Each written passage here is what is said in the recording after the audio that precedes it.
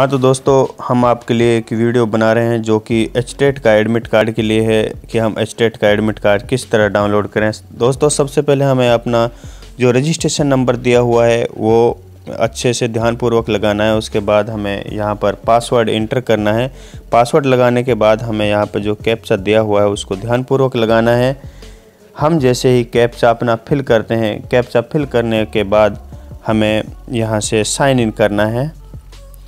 और sign in करने के बाद हमारे सामने इस तरह का इंटरफेस आएगा। साथियों, आप लोग देख सकते हो यहाँ पे आपकी सारी डिटेल्स आ जाएँगी जो हमने फॉर्म भरा था उसके अकॉर्डिंग और उसके बाद हम लेफ़्ट साइड में ऊपर की तरफ़ देखो थ्री डॉट दिए हुए हैं जो इनके ऊपर क्लिक करते हैं। उसके बाद जो एडमिट कार्ड दिया हुआ है उसके ऊपर हम क्लिक करते हैं और यहाँ से हमारा एडमिट कार्ड इस तरह आ जाएगा। आप लोग इसमें अपना जो एडमिट कार्ड में अपना जो सेंटर वगैरह है, नाम वगैरह टाइम और कौन सी स्विफ्ट में आपका सेंटर कोड क्या है आपका, वो सभी डिटेल्स आप यहाँ से चेक कर सकते हैं।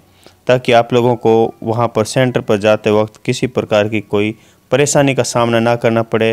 तो दोस्तों, मैं आप लोगों से एक बात कहना चाहता हूँ कि आप लोग हमारे यूट्यूब चैनल को ज़रूर सब्सक्राइब कर दीजिए, ताकि आप सभी को इसी प्रकार के लेटेस्ट नोटिफिकेशन मिलते रहें।